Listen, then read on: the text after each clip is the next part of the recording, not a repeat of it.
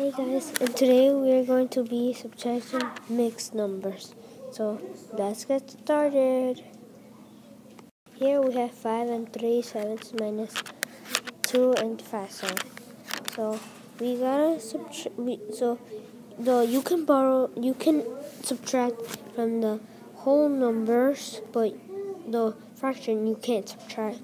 So you gotta borrow, so this turns to a 4 and then you take this fraction into like this. So 3 and 7 plus and you gotta for 1 equals 7 plus 7 7 so 7 7 equals 7 8 9 10 so 10 and 7 now you gotta take the other fraction and add it to this fraction right here.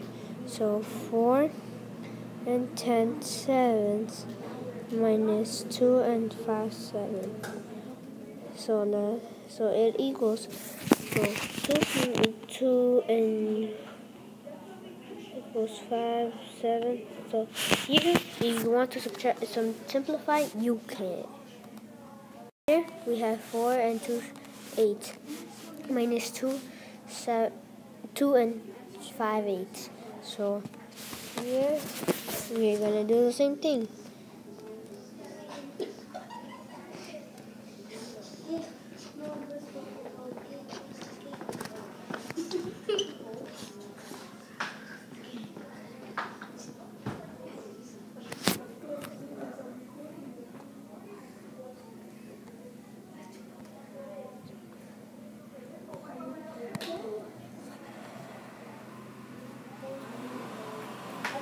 One and then we have five and eight. So you can simplify that.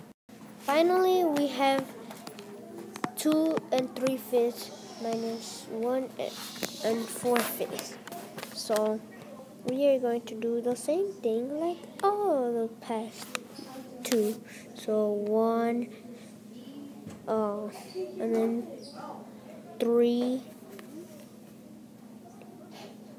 and